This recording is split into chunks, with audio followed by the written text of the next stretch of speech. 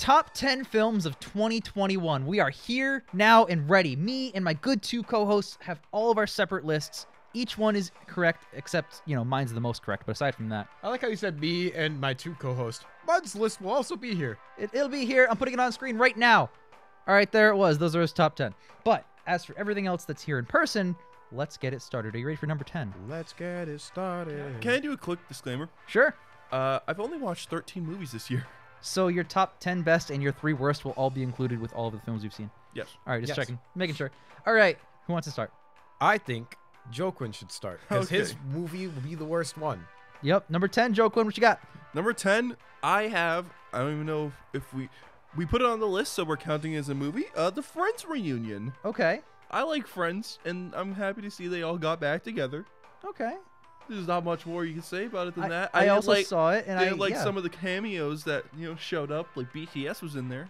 Yeah, that was why. Weird. weird. There's a lot of Talk weird about what friends means to them, I guess. But There's a lot of that, yeah. But I will say, uh, kind of furthering your point, yeah, it's great. It's really only works if you're into Friends already. yeah, All right, what's number 10 for the next guy who wants to do it? I'll go next. Summer of Soul was a music documentary about the Harlem Soul Festival. I believe it was 1967 or 1969. The culture surrounding it, the film. So the festival was filmed, and then for the past 50 years, none of the film was ever viewed Oh, wow. because it was a black film festival in 1969.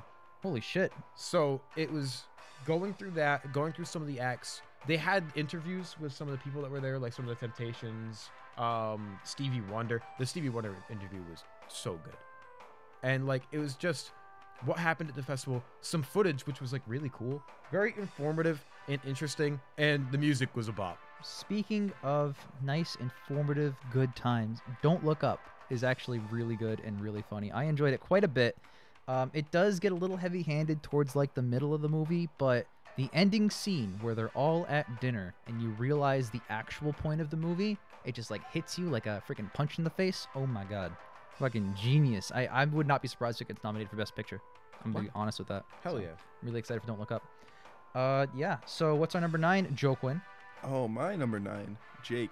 It's a movie that um you've seen Oh no. before and uh, quite dislike. Scared. Space Jam: A New Legacy. Yeah, Oh, only God. Jake watched that one. What the hell top 10 list does this belong? Well, I guess if you've seen th- 13 films, that's not a that's a Now, point. no, let me defend this movie a little bit. Let me defend this movie. Is it soulless because of all these like properties in it? I would argue that Marvel, you could say the same thing about. In fact, I have a whole video about that. I was about to say On you- my you, should, you channel. should be concise because you could just say, "Hey Yeah. guys, check out this thing I made." You know what? I'm gonna make you put that in the description. If you want to Yep. see my Space Jam: A New Legacy review, put check the description. I highly is. recommend it. It's a really good video. Thank you. I, I would I recommend the video. I was about to say I don't recommend the movie at all. No, uh, Um, yeah. I, I agree with you. Not a masterpiece at all. Unlike Malcolm and Marie, which was really good. It's Zendaya and John David Washington arguing for an hour and 45 minutes. Okay. Why they're arguing, how they're arguing, how their relationships work, their past, their present, a little bit of their future. Between an hour and a half of two hours of just this fight that they're having as a couple. It's like the scene from Marriage Story, but an entire film. Mhm. It is really good and concise, really well acted. Zendaya is fantastic. John David Washington is fantastic. Don't get me wrong, but like both of them kill it. The movie is in black and white for some reason, and my, one of my only complaints is it doesn't need to be. It doesn't really make sense that it's in black and white. I guess it's cheaper to shoot or something. it's, It's not. not. It's the same shooting. Yeah. you no one's making. you don't have to color grade the movie. Sure. But like It is marginally faster in the editing room to make a black and white. faster to edit. But I- Marginally. I, really enjoyed it. It's just it's an interesting character piece to look at. Okay, well that sounds really nice and lovely, but it's not as good as my number eight because my number eight is Well, last. Well, Wait, you're number wait. nine. You're number nine. Oh, my number nine. Still better than your number nine. The Guilty. This is a Netflix movie. It remade another film that I haven't seen, so maybe I would like it less because it's basically ripping off the other remake and stuff like that. But the way I saw it with just the Jake Gyllenhaal version, first of all, Jake Gyllenhaal always a masterclass, always a welcome Yeah, presence. Ableist is great. Yep. But other point on top of that, it is a bop of a story with so many twists and turns, and because I knew none of them, yeah, it was a great movie, and I would absolutely include it on a top ten of the year list. So what's your number eight, Joe Quinn? Oh, Jake. let- Oh, it's Space Jam again. it is. It's just Space Jam nine more times. Oh, tight. Uh, My number eight is a movie that I was holding off for a while. I watched the first third of this movie and I was like, I can't watch any more of this. This is this is super disappointing because I was kind I was I was hyped to see this movie. Did you ever finish it? I did finish it. Okay, all right. I was ah. gonna say you can't rank a third of a movie. My my number eight is SpongeBob SquarePants Sponge on the Run. Why is it so bad? Because there are zombie vampire cowboys with the leader being played by Danny Trejo, and Snoop Dogg comes in and sings a rap song. That's as bad as it sounds. I remember you told me that, and I distinctly remember pulling it off of the movies I was gonna watch because of it. yeah, I'm. Eh, I, at, at what point I was like, you know what? I'm bored. I want to see the rest of this movie because the animation, when it's not in the live action segment, it's all again, it's only one live action segment. Yep. After that, the animation is it's fucking phenomenal. really cool. They put way too much effort into this movie for it to just be like a like a six out of ten. well, now that we're actually in the number eights, Ian, what do you got? Oh man, speaking of really crisp, awesome, cool animation, Witcher subtitle Nightmare of the Wolf. A. It's Witcher content. Fuck me up with more Witcher content. B. It slapped. It's so much fun. It's so much. It gives you more lore into a character that personally I'm I know about but don't know a lot about because he's one of the older characters in The Witcher the games. I absolutely loved it. It's fun, it's brutal, it's violent, it's interesting, it's quick and it's short too. Mm-hmm. And that's one of the cool things is they packed in the lore, interest, why you should care, all in one tight little bow that's very very well animated and doesn't pull any punches. Okay, Right. I agree with most of the things you said, but it's not on my list. My number eight is actually Last Night in Soho. Now I know this movie is a lot higher on Ian's list, but I enjoyed it quite a bit. I thought it was really good, really strong. It's probably in my top three or four Edgar Wright movies, and he's done a few real, real high-end banger movies. Yeah. So like you know that says something, but it's it's fantastic, and I don't want to tell anybody who hasn't seen it anything about it. I'd rather just go in cold. So that would be a high recommendation from me. So Jokin, what's your number seven? Well, Jake, my number seven is the first of two DC movies that are going to be on my list. Oh boy, Unless you count Space Jam and New Legacy, because that had some DC characters in it. boy did it. It did. Uh, but The Suicide Squad, the one directed by James Gunn. You don't have to clarify. I'm just the other saying. one didn't come out this year. Oh, that's fair. Suicide Squad is on my It 2021 came out list. this year. I did watch it this year for the first time. Sorry. Yeah, I know. Uh, it, it it's fine. I- Is it deep? No. Uh, I my problems with it is just like the characters don't really get any like like focus. It's kind of more the same from the first Suicide Squad, just done competently. Okay, I see your points. So yeah. All right. Well, Ian, what's your number seven? My number seven is Bo Burnham's Inside. It hits a little too real sometimes. I'm not gonna lie. While watching this fun little comedy about being in pandemic, I'm just like, oh, it's funny, it's nice. All the songs are really good too, by the way. Mm-hmm. That's one of the big things for me. You're like, oh man, this is really funny. I'm enjoying this, and then it will hit something, and you're like, oh no, despair. It hits every emotion that it wants to hit. All right. Well, uh, my number seven would be the sound effect in every Hollywood film nowadays. Dune. It's super good. It's literally like almost a flawless masterpiece, except for this glaring issue where it literally just ends with no resolution to really anything. And I know they're adapting it in two parts, but if they're gonna do that, you need to have the other part ready to go, like Lord of the Rings. Like if you just made Fellowship without having shot any of the other stuff, nobody's gonna like Fellowship because they're like, oh hey, here's the ring, let's go to Mount freaking Doom, let's go to Mordor, and then it just ends. It's like what the what the hell movie did I just watch that for? So that's how Dune felt to me at the end. But aside from that criticism, which is a big one, it is an awesome experience, and I would highly recommend, especially when the second part comes out, highly recommend watching it, preferably back to back. So what's your number six joke win?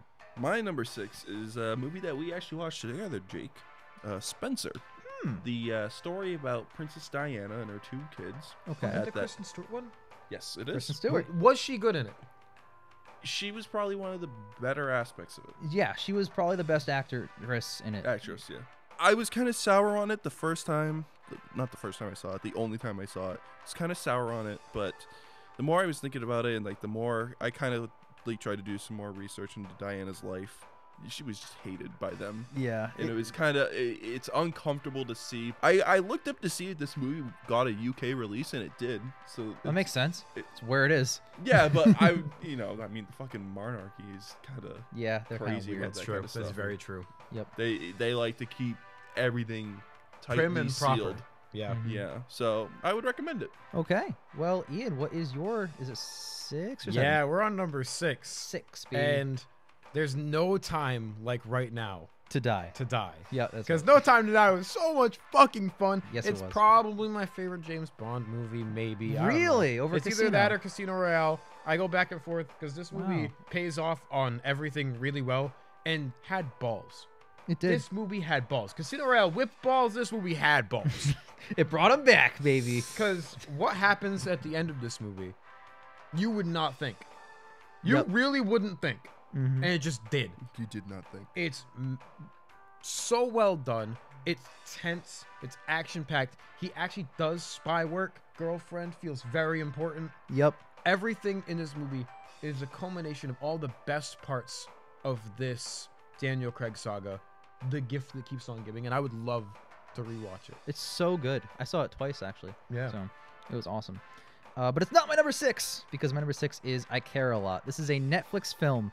And the way, the reason that I enjoyed it so freaking much that it's still on my top 10 of the year at the end of the year is it's not really a normal kind of movie where there's a hero and a villain.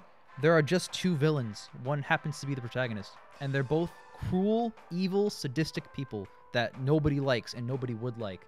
And normally that would not work for a movie or a story. And I, I, there are people out there where it didn't really work for them, and that's all well and good. But for Me. yeah, for me, I was just riding the energy of this movie, just giving you and me and everybody else in the world the finger the whole time. and I love like the the sick, twisted nature of both of the characters. It's basically like this evil, manipulative person who preys on people versus this evil mob boss that Peter Dinklage, who uh, is uh, basically uh, screwing other people out of other kinds of money. And the ending is really cool, and I really like how it wraps I up. so- very much disliked the end. That was the part that really tanked the movie for me. really. See, It didn't make any sense. Uh, see, I think it made total sense. Well, that's a separate tangent here and there, but like I, I really enjoyed I Care a Lot. But Joaquin, what's your number five? My number five.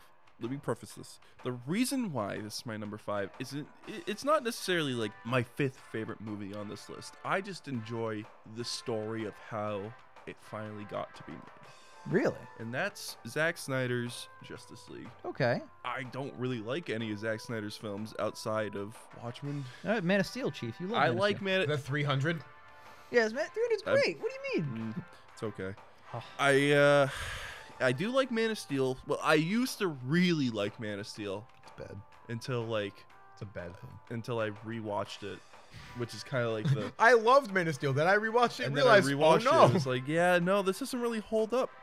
And Justice League is kind of like the best DC Zack Snyder stuff we've got. I agree. And I'm happy that he got to go back. He got to fix it. I don't know why he added new stuff.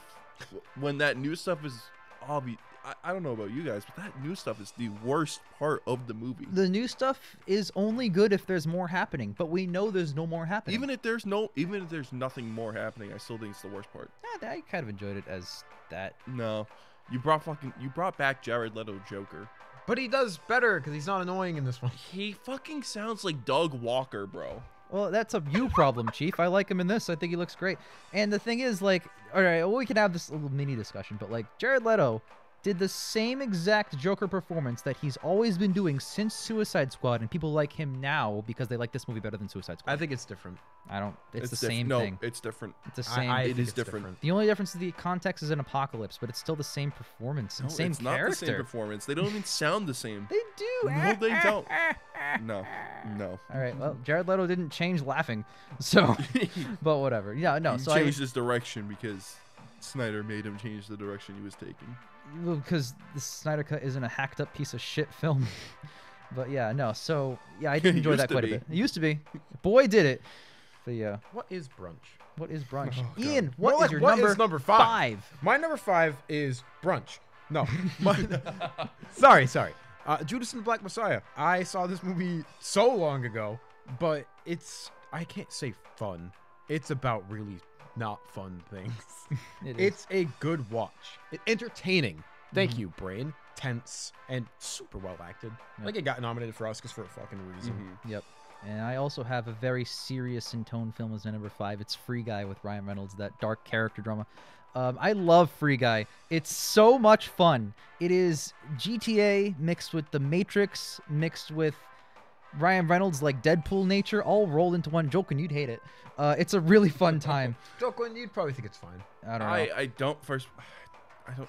I, I like Ryan Reynolds as a person. I just do not like him in movies. well, uh, that's the thing he Yeah, does. you'd Do you like it. his gin? What the hell do you like him for? Yeah, I think he's funny outside of gin. movies. All right. Well, I haven't met him in real life.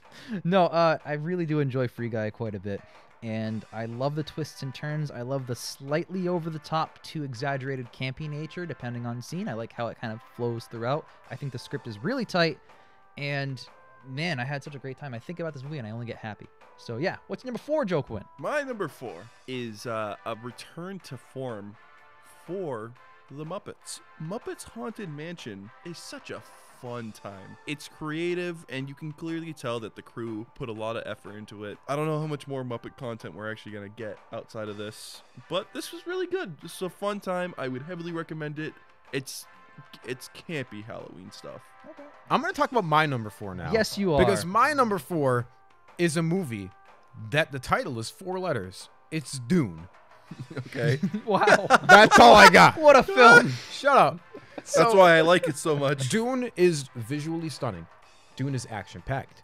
Dune has a well acted cast of characters.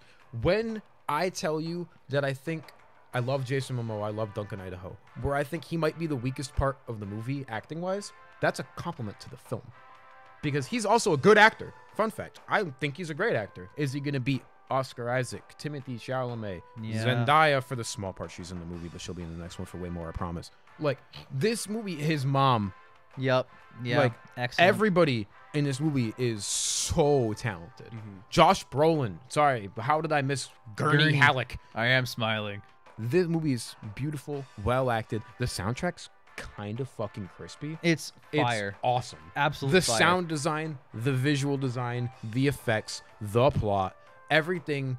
It's amazingly paced. It was Zimmer. I, It's- I was wondering if it was Zimmer. Or not. Yeah. Oh yeah. It's not. You know it's Zimmer, dude. You feel it. It's Zimmer in your soul. Um, I have my minor nitpick is the end, but but I want to say that the end of this movie makes sense in the context of an ending because right before I, I'm just gonna spoil the end of Dune. All right. Don't listen if Don't you listen haven't if you seen it haven't and seen want to watch it. Joaquin, I'm sorry. It's also like a 60 year old book. So, I do not care. So right before he gets into the knife fight, he says, "When you kill someone, part of you dies." And in the books, that's when he drops the name Atreides and takes the name of that mouse, the desert survival mouse. yep. It makes sense as an ending. It does not make sense as a film ending. My issue with it is that is a good ending that's clear, that's concise, but for a movie, for the general audience, and for this kind of media, you look at that and go, why did the movie just end? That doesn't make any sense. I get why people are frustrated. Yep. It's still bothersome. It will be so much less bothersome when I actually watch part two. But so, you know. I, I literally don't think I have other complaints. Like, yes, it's long, but it warrants almost every inch of runtime. it really is like an epic. It's so good. it's a beautiful, master-crafted epic. Yeah. And watching Dune 1984 and then watching this, I watched the polygon fight scene before I watched the fight scene Mm-hmm. with Josh Brolin because Yep. I really, really wanted to watch the funny one again beforehand. What the fuck is happening? Why is this a tactic? All right, can I say something real quick? The second these three walked in, the whole tone of the movie was set for me. oh my god, Patrick Stewart. I'm like, oh yeah, and then th- whatever the fuck that guy's eyebrows are, I lost my mind. And then all of a sudden they turn into Roblox Minecraft. God, it's just so much more it's interesting. so funny. Number four on my list is where we start getting into tens. Okay. Dune, I think, is a ten. so Dune but was the your ending four, is right? a little bit of a damper. Okay, fair enough. Not a perfect 10, but everything else being so amazing makes me overlook mhm. Fair that enough. little aspect. Okay, then my number four is gonna be A Quiet Place Part Two. It's a fucking bop. It's I think it's almost as good as the first one. I think it's basically like up there. And uh, the way this one ends is similar to the way that the last one ended, but with more hope. And I really appreciate that. And it sets the stage for where I think the third one's going to go, with, you know, hope being somewhat restored to a certain extent, potentially. Who It winds like a river. It winds like a river, just like uh, the S. And yeah, I really enjoyed part two. Please, uh, I wish I could say see it in a theater. It's way too late. But I think being in that theater with those people around you, where they're all just, ooh, all quiet, you know, on the Western Front, like the film, with um, all of us like experiencing together, it, it just, I think it adds something to it. And that's really interesting for a movie. That, only movies like this have that effect. And I really appreciate it. I it. will say, while I really, really did enjoy Quiet Place Part 2, it barely doesn't make my top 10. I think it's like number 13 or 14. Mm, okay. The genre of a little bit more actiony doesn't compare to the mystery and scared tenseness of the first one, See, which is why I think it's a little bit worse, but still really good. I still, I think that action, it's not even like an action film. It's mostly a horror film. But like, But it's more action horror A- than like, a adding f- little bits yeah. of action in terms of that, I think, is a natural extension from the kind of like how Terminator 2 built off Terminator or Aliens 2 built off Aliens. It Mhm. kind of went in that direction because you've already sent the, spent the first movie establishing that threat, and now in order to try and combat that, you are now prepared with that first movie's context. I completely understand. I just think that in terms of what I like more with the concept, I much preferred. okay. the- I also prefer the first one, but like a little bit, like a No, I hair. think the first one's like almost maybe like a nine or a ten, and this one's like eight. Okay. Still a really good movie. I just have a I- little I would bit agree more. with that. Okay, we're on the same page here. All right, Joe Quinn, we're in the top three podium position. We are Okay. in the bronze Podium medal. positions. Now, I if- think you guys are you going to complain about these movies? no. okay. I think you guys are all gonna agree that I got some bangers on here. My number three movie of the year. Spoilers for Spider-Man: No Way Home. Well, Joe Quinn, I have to jump in. Well, Joe Quinn, I have to jump way. in. Whoa! Whoa, what's going on? All three of us with All the three third of us. Spider-Man movie. No, okay. All right. So which one of us is Tom Holland? Which one of us is Tobey? Which one of us is D- uh, Andrew? dibs on Tobey. Oh, Hell yeah. I'll take Andrew. Sick. That you didn't even try to get Tom. Yeah. I, I wouldn't win that fight. Oh, come on. Ian's like, didn't Tom play like your cousin or something? He did. He did. He, Tom Holland did play a person I'm related to. So That that is that's very Oh. I can't win that that fight. is very true. All right, so Spider No Way Home. Here we go. Holy shit, what a movie. It's so good. It is fantastic. it is an it's- excellent, excellent end to the Tom It is- Holland trilogy. okay. God, it might be the best Spider-Man It is movie. 100% fan service, but who the fuck cares? Because I'm, I'm a fan. It's a it okay. It's 100% fan service, but in the context of it still has a competent movie around it. yeah. And on top of that, it only works because you've had like what is it, seven or eight other movies to build to this point. Yep. It's it's so impactful in that way. Yeah. So yeah, Phenomenal. you can only do this as like the It end of the third trilogy of Spider-Man. You know, like that's the only way that works, and it Also does has work. some of the best emotional scenes in the whole MCU. Yes. That Yep. When- Anything with Peter and MJ in this movie. when May dies, Ah. oh my god. Fucking I, like you see Peter just looking at that screen and like it's raining all around him. It's like the most cinematic the Marvel Cinematic Universe has ever gotten. Before this, it was just the Marvel Universe. All right, let me hit you with, with let me hit you with something really cool. My favorite scene of 2021 is in this movie. Do you want to guess where it is? It's when all three of them either it's either when all three of them are on the Statue of Liberty or when all three of them web twirl off each other. Sick, but not my number one. Is it when Andrew first comes in? It's when no, Tobey first that, comes was, in. that was a great And too, he goes- and so is Tobey. no, it is the scene where Andrew saves MJ, and uh, I That's a think it's a scene. brilliant creative decision to after he, he doesn't just catch her and the fight resumes. He catches her and he goes, "Are you okay?" And she goes, "Yeah." Are you okay? And you just linger on Andrew Garfield for a few moments as he just takes it in This- and realizes the fact that he, in a way, he couldn't save his own, but he saved his girlfriend, and Yeah. he, in that small sense, just redeemed a little part of himself. Called that back. by the No way. Way Home really had like a lot of things to fix. You had to Mm-hmm. fix these villains that kind of didn't really get a lot, or they were just really fucking bad. Electro. Yep. Uh, you had to fix Andrew Spider-Man because Andrew is not a bad Spider-Man. He just was dealt a bad hand. He was. I He- agree completely. He was dealt Sony in the 2010s. I agree completely. and with Marvel Studios in charge, you can actually get something good out of this. I Have you guys ever seen Kevin Feige's notes on Amazing Spider-Man 2? Yes, I, they leaked emails that one Yep. time. Oh yeah, my God, Hilarious. Fucking hilarious. they ignored every single Every one. single thing he said They ignored. ignored. I think they ignored it on purpose. Why? Because in one year, Spider-Man was going to be in Civil War. Like, That's why? true. Why would you? Ign- I don't know. I think they whatever. ignored Did it they on want to? purpose. did they just want to torch Earth so they can get Holland? or- Honestly, I just think Sony executives thought that they had good ideas. and then they immediately go, "No, please, please, we'll give Yeah, you, because we'll give you Spider-Man- Spider-Man." Because Amazing 2 sucked balls. We're not here to review the deal behind the scenes. We're here to talk about the movie. And oh my god. to be fair, this movie did take two deals to get made. Yeah, it Yeah. did. Two deals, three movies, really like five or six movies of Tom Holland Spider-Man if you count it all together. Yeah. So yeah, this is nuts. It is the build-up, and it's the perfect. If this was where Tom Holland's Spider-Man had to end, this would be the perfect finale. Yes, It's, but it's not also where it ends, but the fact that like he makes his own suit and Emperor Palpatine. It's you know, also very similar to Iron Man 3, where what a great end to the trilogy, except they're not going to end it, and he's going to keep making Iron Man suits. But Peter doesn't say he's going to retire. No, but you know down the line he's going to reveal to MJ that he's who he is. You Yes, know that's going to happen. The fact that he doesn't do it right now means a lot. it will. Let, I assume like I five or ten years will pass, and then he'll do it. I don't know. I, I, I frankly I don't know if they're gonna tell the if because he, seemed pretty content with not telling because he doesn't want to put his friend's lives in danger. Right now, right, Right now, now, but- it's like Yeah. Tony believed that It- he was done. No, but How, here, which time? oh my god. Here's the thing. First of all, I think the ending of Iron Man 3 is great. And I think you guys are wrong. He didn't he didn't say he was going to retire. He said he was just gonna slow it down a little bit in a clean slate. That's exactly what Tony did. And after Iron Man 3, he really is a different character. However, at the end of this movie, Tom Holland's Spidey is a different character. Oh, for sure. yep.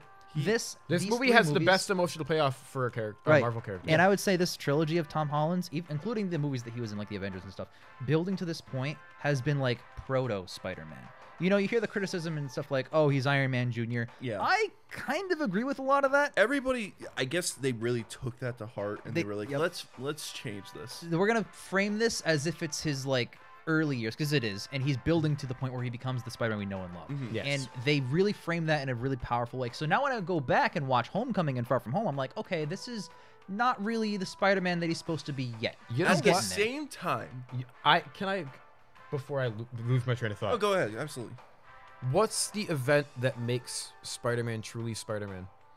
It would be Uncle Ben's words and learning about responsibility, is it not? What happens to this movie? right in the middle.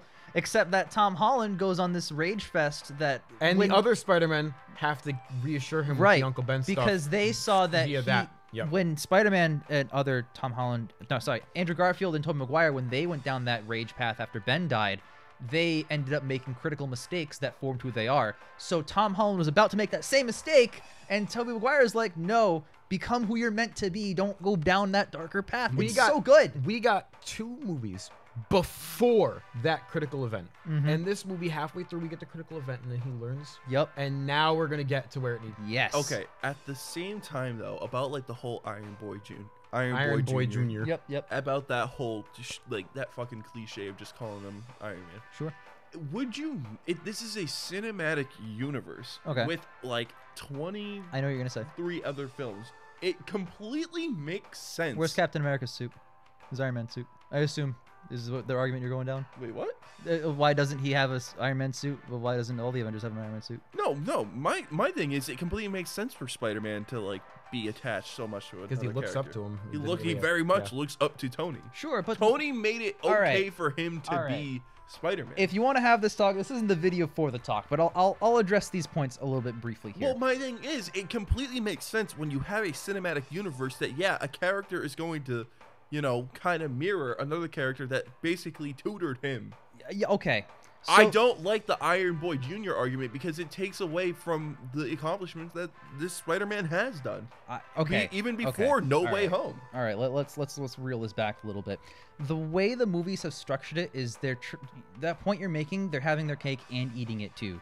Because what they're saying is that Spider-Man is not cool enough to hold his own movies. You need to add Iron Man tech. You need to give him gadgets. You need to give him big old freaking iron suits. You need to big old arms swinging around. You have to have this cool freaking wingsuit. You have to give him all the Iron Man shit, iron glasses. You got to have the drones. You got to all this cool shit. And the moral can be of the trilogy ended up being that that stuff was not what made him Spider-Man. That's all well and good.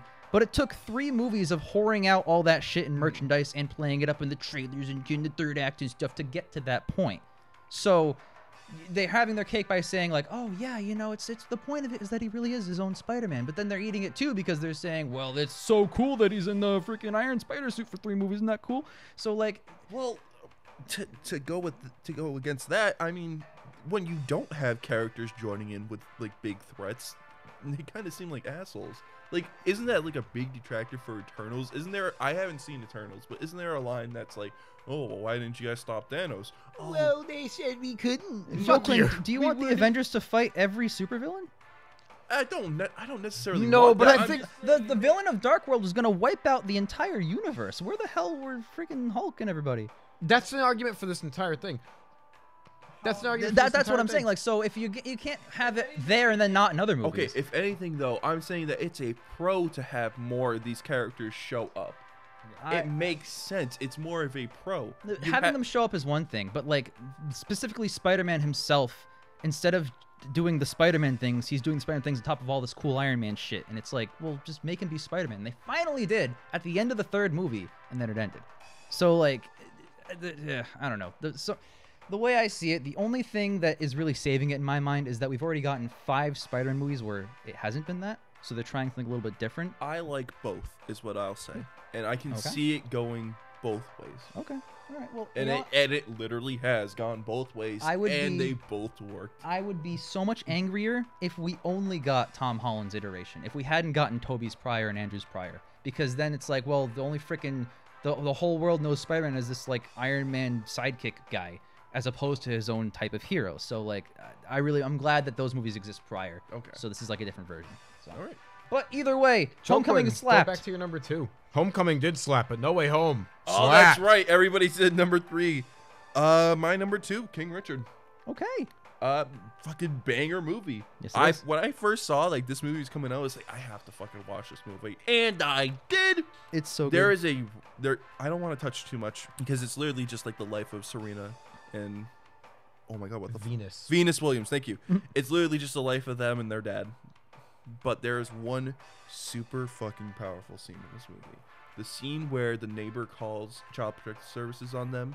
They're just Will Smith gets to the house and he's like, "What the fuck are you doing here? I protect my I protect my family. I protect my daughters. Like, all of them are smart. All of them are gonna have an education. But people like you are trying to like ruin that for people like us because you don't believe in us. It's so fucking powerful. Mm-hmm.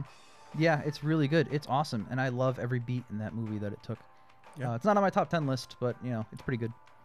Ian, what's your number two? Jake mentioned earlier that this movie was gonna be higher up on the list because Last Night in Soho fucking slaps. Edgar Wright does such a good job with interesting ways of shooting his films Mm-hmm. and interesting ways of editing his films. Mhm. And this movie, with the weird dream sequence, weird, it's just a trip. I didn't. There are a lot of scenes in this movie. You're like, God damn, I understand what's going on, but what the fuck is going on? Mm-hmm. There's so many twists. It's just like a wild goose chase to figure everything out, while also simultaneously being like this fever dream nightmare. Ian, I want to ask you a question. I know you said that you wanted to wait because potential recency bias. Who knows? But is this now, after you've had time to sit on it, your favorite Edgar Wright movie? God no. No. No, 'cause okay. Scott Pilgrim's my favorite. No, movie. because yeah, So- it's literally his oh, favorite oh, se- movie. uh, is it second? I this and Baby Driver both really because I believe they're both tens. Uh, every, every Spider-Man ten, by the way. Listen, I have not had that much fun in a movie in a long time. Same. Last Night in Soho is also a ten, baby, but for different reasons. It makes me think a lot. Baby Driver Okay. doesn't make you think as much as this. So movie they're your two and three in some order, then. yes. Okay. All right. Basically because Baby Driver doesn't make you think a lot. It's just a banger time. Yep. That, that's Uh, understandable. big, wide-eyed, like what's next? What's next? You're trying to predict it the whole time, and you're not mad if you're wrong because it's still smart when you're wrong. Okay, so uh, that is very true, and I agree completely with what you said. That being said, it's not my number two. My number two is I'm Your Man. Now, this movie is the best movie of the year, except that The Father, which was nominated for Best Picture last year, is technically for me a 2021 movie, so it's number one by default. It's better than any movie else that I've seen this year. Yep. So, um, by that logic, it has to be. But Father aside, because you know that movie was nominated last year at the Oscars and all that jazz. Father aside, I'm Your Man is the best. So I'll just talk about it as number two. I'm Your Man is such an excellent movie.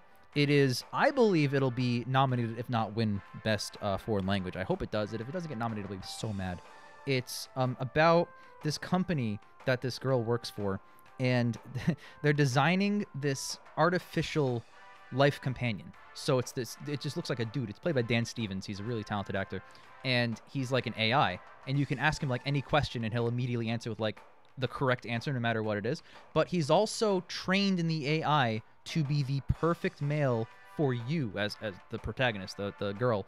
So as the movie progresses, he tries to keep adjusting himself and adjusting himself, and the movie has like this excellent commentary and theme of like, well, everything I do around you is just this this false performance. Like I'm I'm making you breakfast, but like you don't eat.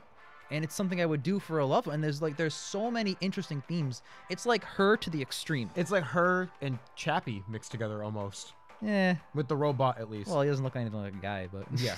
but yeah, no. And then th- there are other parts where like she meets like this dude who's like this like overweight, stereotypical lives in his mom's basement type of guy, and he's like th- 35 or whatever, and he's like with this super hot like bimbo fucking artificial. He's like, this is the best thing. It changed my whole life. I'm so happy. And she looks at him and she's like. But are you really that ha- like that? What does this say? Because now he's never gonna leave his house again. He's never gonna do anything. He's never gonna, you know, like there's there's so much that can be said about that situation if this were to exist. And this movie explores all of those themes, and the culmination is so satisfying. And uh, I loved every single minute of it. It's it's aside from The Father, the best picture nominated film from 2020 being on 2021's list, this is the best movie. So I'll leave it at that. All right, fair enough. So are we at number one? Yeah. All right. Well, I think I think you guys know what my number one is. Yeah. So Joken, what's your number one? My number one is a movie that I, I kept thinking about for a long time after I left that theater with you, Jake. Yep. The Green Knight. Okay. Wow. See, I don't have it on my top ten, but I did enjoy it. At first, I walked out of the movie confused. like we, but we had that like car ride. We just kept talking. We had that like hour long car ride back, Mm-hmm. just continuously talking about it. I remember. the pieces kept falling back Mhm. in and i'm like i've never really done this with a movie before and it was super interesting to me and it like made me really really made me think Yep. and i guess having someone else to like talk it out with Mm-hmm. also made that just- significantly better because like verbally reciting the plot if i could just add to that because I'm, I'm also a little bit confused at first and blown away by Yep. that like when you first watch that movie there's so much that like is lost even if you did watch it and understand it Yep. Be- but like saying out loud what happens well the green knight only went here to do this this and that and meet this person oh wait for that story that clicks with this Yep. and that with this Yep. character like there's so much that just gets Mhm. enhanced and yeah i remember that completely that was a great conversation Yeah. and it, it went up several points after it that did. discussion 'cause I was it like, did I was at like a six out of ten at first. no no I had a nine Yeah. So, Yeah. Still have a couple movies from this year that I want to Yep. watch Mm-hmm. that uh, some unfortunate circumstances in the past couple weeks. Hey, I, I want to see Kingsman so bad. I'm so yeah, mad I did. same. Yep. But a couple of unfortunate circumstances in the last couple of weeks prevented me from watching like the last few movies that I really wanted to get on here before we do like the best of the year and Yep, what yep. we saw this year. You Like, did a pretty good job though. I, I wanted to watch Don't Look Up. Mhm. I didn't get a chance to. I wanted to watch In the Heights, which has been out for a while, but it's almost three hours long and it's just a lot. oh my god. Mhm. Green Knight's on there. Really wanted to watch it. definitely Watched a couple of shorter things first, and then Mhm. bad well, things. you're you're beating around the bush. What's your number one? Oh, uh, Jake, we both get to talk about the father. Yes, we do.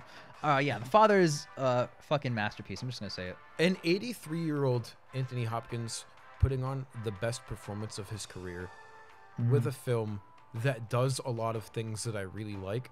How am I gonna give it anything less? You know, when the Oscars were happening last year, and th- the Academy, the the production team of the Academy Awards expected him to win, so they put that last because it'd be like in memoriam to Chad Boseman. You and I were the ones who was like, yeah, but Anthony Hopkins was better. Yeah. So like, he has a strong chance to beat him, and lo and behold, he ended up beating him. Wow, it's probably because he beat him because he was literally the best actor. Yep, he You was know- easily. Sometimes when we look and go through the past couple of times we've done this. We go best actor. Who was the best actor on here? Now will he win? Mm-hmm. You remember Borat? I was like, he's gonna win. Rami Malek's gonna win. Yep. Who was right? Yeah, easily. Who was right with Joaquin Phoenix's Joker? Again, You did snipe. You're really good at actors for winning Academy Awards. because I know what the people want. You do. You do. the people wanted Chadwick Boseman. Dude, this is gonna be the first year that Jokin plays the game of not what we want to win, what we think will win. What win. will think will win? Yeah, it's really. Ian and I've gotten pretty damn good at it. Not to. brag. I sucked the first year. Yeah. Every year I get infinitely better. I almost I almost snuck away with it last year. I was you were dangerously damn close. close. But I, lo and behold, have the. It's a small statue with Bullseye's face printed out over it because it's Take a picture, put it up. it's for getting your pick right every single time on the first try without going again. But no, seriously, like Anthony Hopkins, Olivia Colman was the uh, daughter. Yep. Right. Phenomenal. She's, She's great. Super talented. She's won Best Actress for the The favorite. favorite, that's the one. Yep. Yep. She's either supporting or main, but yeah, she's great. Dummy talented. Yeah. Oh my god. Oh yeah. The movie takes so many twists and turns, and you're kind of just as confused as he is. But the movie goes, "You don't have dementia. Let me tell you," and you're Exactly. like, "Fuck! Oh, I didn't think about it because of this, this, and this." And it's so goddamn good. It is It so does good. that. You remember that one scene from I, th- I I'm thinking of ending things where they're in the parents' house and just everything is happening all at once, and it's the best scene in the whole movie, and it's why I like that movie. Oh yeah. It's that, but the whole film. Did you guys have any honorable mentions? We should have done this before. I, I have guess- one honorable. I have guess I one have honorable. one honorable. No, don't talk about your honorables because they're all in the three worst. no, no, no, no. I have 14. Oh, let's go. What's the honorable? Go for it. My honorable mention is uh, it's malignant. it's a very bad movie done by the director of Aquaman, Mhm. James Wan. James Wan. He's great. In Yep. Aquaman. Yeah, um, I guess his non-Aquaman stuff. I can't attest to uh, all of his other things, but apparently they're all like malignant. Maligma balls. Yeah, that's basically all I can say about malignant is malignant balls. Fucking got him. Thank All you, right, thank yeah, that's you. fair enough. I have a couple films I'd like to highlight. Okay. Um, they're not even like 11, 12, 13 because I don't want to talk about some of these films because they're boring, like Yep. Nomadland. Um, listen, Nomadland's a good movie, but it is not like wildly entertaining like some of these movies. For Mhm. one, Shang-Chi just got nudged out barely when I watched Summer of Soul. Summer of Soul was awesome. But Shang-Chi, really fun. Brought Mhm. back a little bit of that Marvel magic that because I thought they were getting stale and boring and terrible because I watched Black Widow. yeah, Which you we'll watched Black. Widow. Candyman might be one of the best horror movies I've watched this year. Last Night in Soho I would consider a horror movie, and it's infinitely better. But like, Candyman kind of slapped, and Mhm. Yahya Abdul Mateen II, he made me care about like a weird genre, and like it's kind of like a slasher, and I'm not really into that, Yeah. but it's presented in a really interesting way, and it's just a good time. It's a scary time, and it grossed me out at some parts, but it's really good. Mm-hmm. Okay, well, that's like fair. the- those two. Okay, well, I only have one. It's called Lamb. Um, this is mostly a really like a like a slower paced movie that can work to its benefit, but sometimes it just really does drag. I really like the characters in it, but what makes it such a kick-ass time, why it's the number 11 if I were to expand one more on the list. Oh my god, the ending, the last like 10 15 minutes, it's like not only is it the perfect ending for the movie, but it is one of the best endings to a movie this year. And I'm so glad I watched it just to get to that point, and I'll be rewatching the ending of this movie many times.